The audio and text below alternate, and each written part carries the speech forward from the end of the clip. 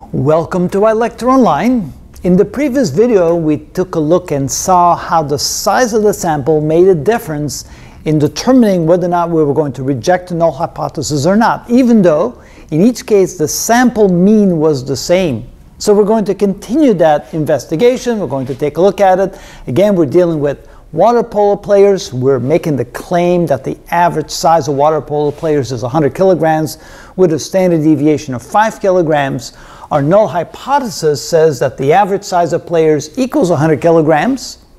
We meant with that equal to or less than 100 kilograms because we're concerned to see, well, not concerned, but interested to see if the average size of water polo players was greater than 100 kilograms. So that is the, uh, that is the alternate hypothesis. So we tried the sample 1 and sample 2, and in each case, it didn't cause us to reject the null hypothesis. We failed to reject the null hypothesis because the sample size was so small that even though the difference between the mean of the population and the mean of the sample was significant, a total of five, it wasn't enough to give us confidence, meaning there weren't enough players in the sample to give us confidence that that was significant enough, so therefore we, we, we uh, failed to reject the null hypotheses. All right, so now what happens when we go to a sample size of 3?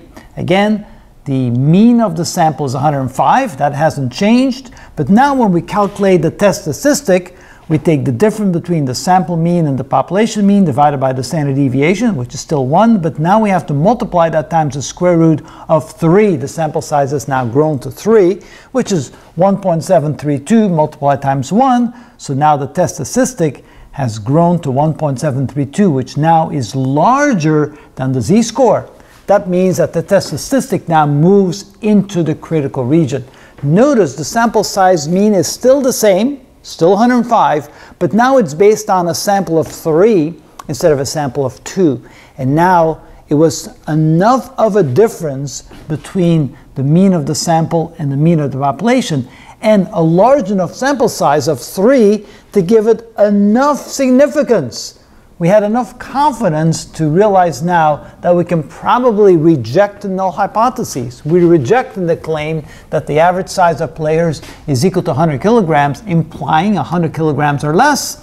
And now we're going to accept the alternate hypothesis that the average size of the players is greater than 100 kilograms. If we pick three players at random and their average size is 105, that's enough confidence at the level of significance of 5% that we believe that the average size of players is actually greater than 100 kilograms. And that's how we did that. Now, what happens when the sample size increases again, but now it's equal to 9? Again, the sample mean is still 105, so the difference between the population mean and the sample mean hasn't changed.